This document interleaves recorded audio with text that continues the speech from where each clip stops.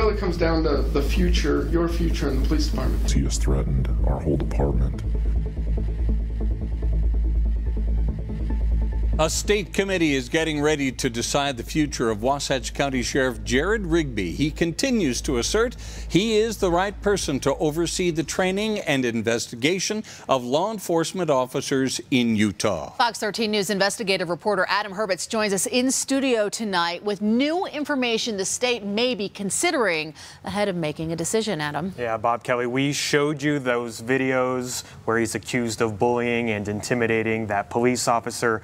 We showed you how he says he's being taken out of context, but now we have dozens of emails, Sheriff Rigby's emails, and now we know videos like this were being recorded long before you saw them on TV.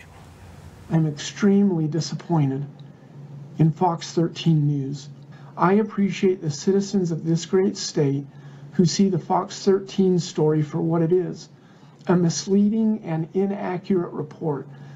Those were the selfie videos posted on Facebook after 11 p.m. on a Friday night.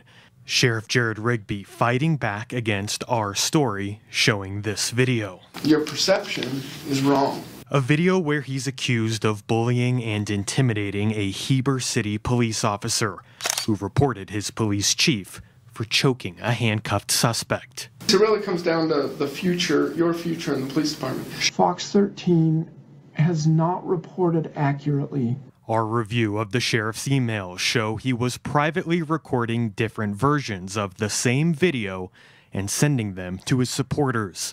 Even before our story was published, quote, there are so many parts about Fox 13's story that are false. It was in no way my intention to come across threatening in any way.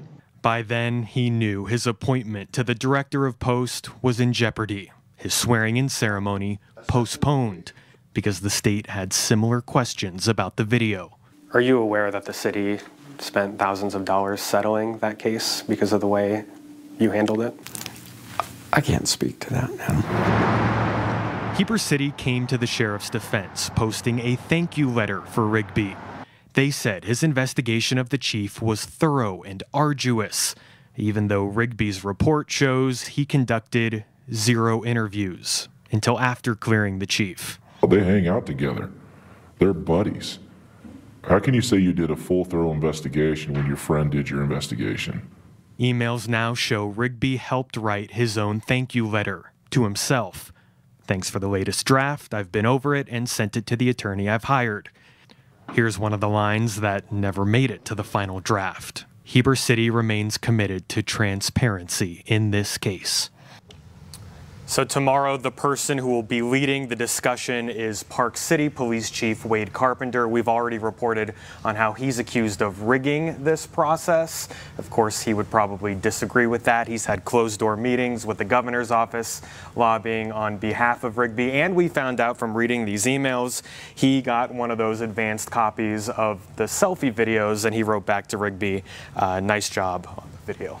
That's a big stack there, Adam. Anything else within these emails that we need to know about? Yeah, there's actually plenty. So what we're going to do for the next hour is get as much as we can online onto the front page of our website, fox13now.com. It'll take me probably about an hour to get all the pertinent information on there, but there's a lot to go through and uh, happy to share it.